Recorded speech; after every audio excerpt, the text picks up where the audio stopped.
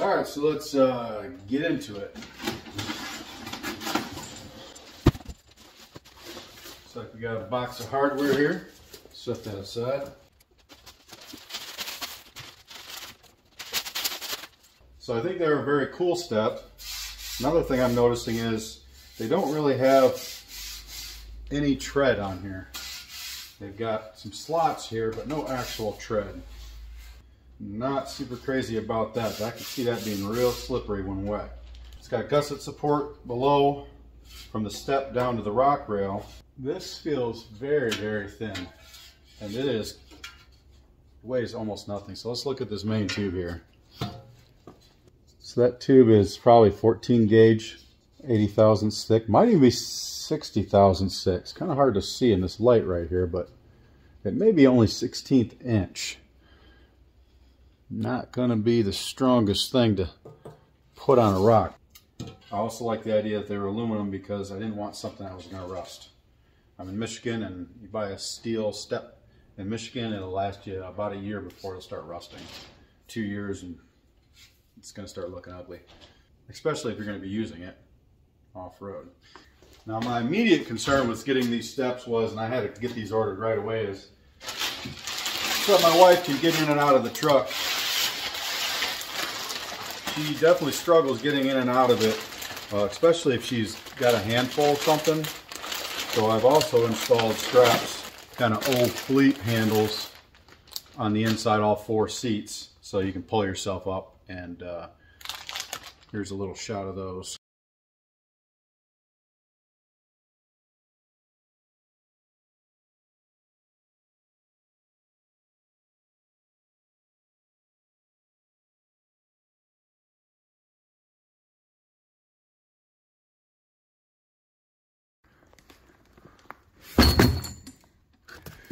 All right, in our hardware box, we have mounting bracketry, lots of bolts, nuts,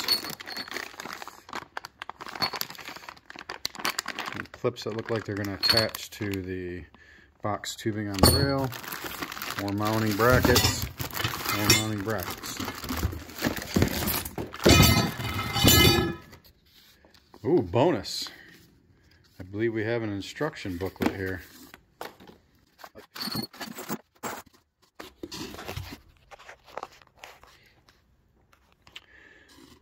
English instructions that make sense and are legible look very clear.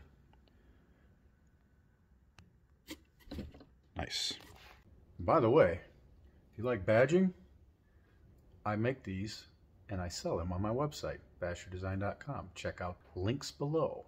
I also do fully custom, design from scratch, anything you want or can think of, I can probably do that for you.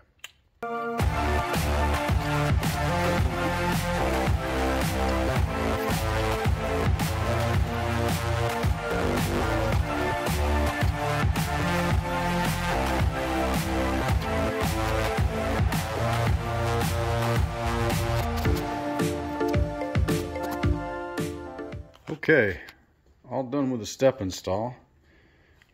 Like the look. I like that it has nice long approach angles on the step. And beneath on the actual rails, I wish those angles were actually steeper or longer. I want, I'd like to see this angle go from here down to at least here. All right, so what does this gain us in step height? I'll call that about seven inches.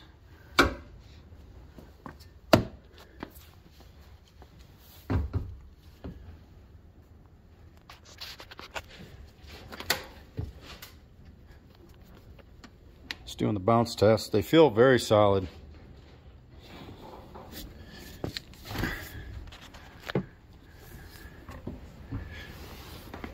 Yeah, real happy.